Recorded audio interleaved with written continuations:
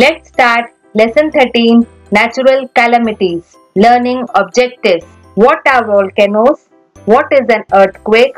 What is flood? Let's start learning. Sometimes we see some events occurring in nature are very hazards and cause great loss to life and property. Such events are called natural disasters or natural calamities. Earthquakes, volcanic eruptions and floods are some examples of such calamities. What are volcanoes?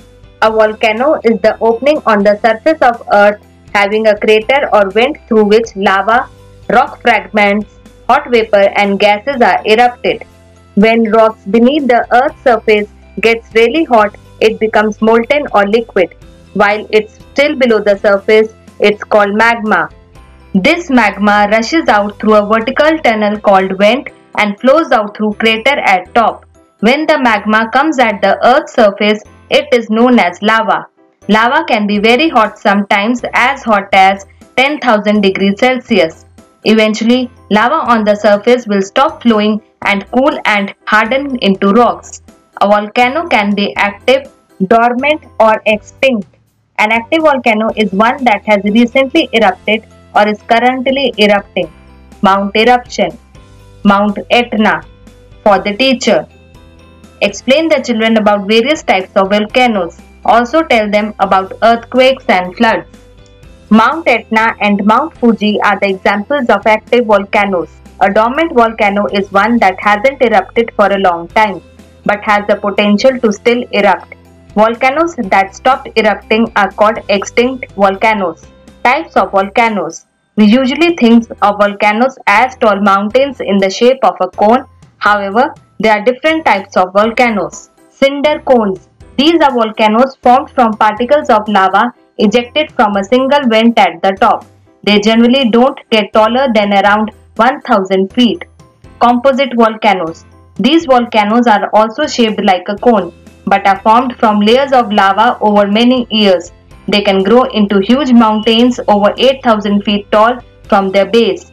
Shield volcanoes.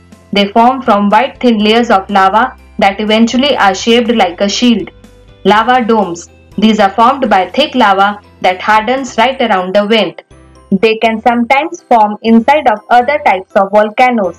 Cinder cones, composite volcanoes, shield volcanoes, lava domes. What is an earthquake? An earthquake is a shaking of the ground caused by the sudden breaking and movement of large sections tectonic plates of the Earth's rocky outermost crust. Earth's upper layer crust is made of many rock masses called plates. These plates are constantly moving. They move apart, collide or slide against each other.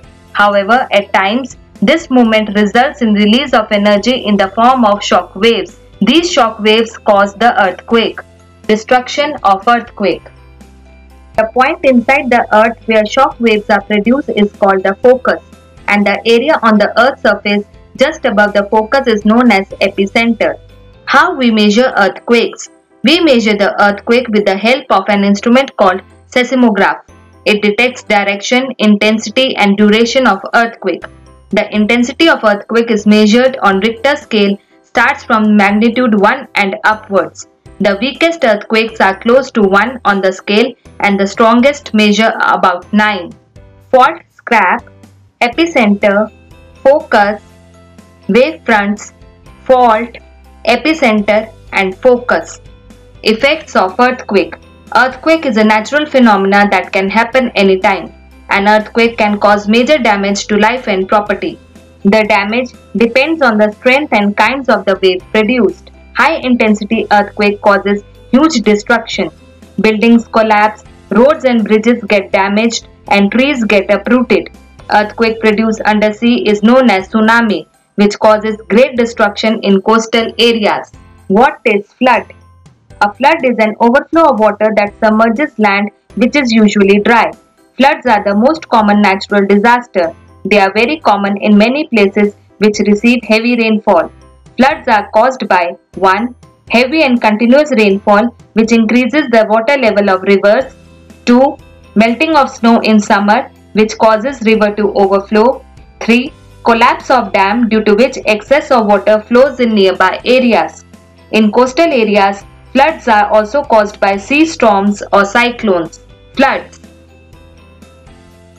Flooding is extremely dangerous and has the potential to wipe away an entire city, coastline or area and cause extensive damage to life and property. Let's revise. A volcano is an opening in the earth's crust through which hot liquid rock from deep within the earth called magma comes out. A volcano can be active, dormant or extinct.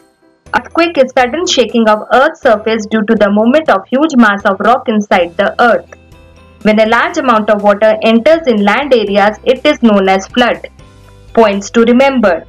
Volcano. An opening in the surface of the earth through which gases and molten rocks are forced out into the air or have been in the past. Earthquake. Vibrations in the earth's surface. Flood. Excess water flowing in land areas.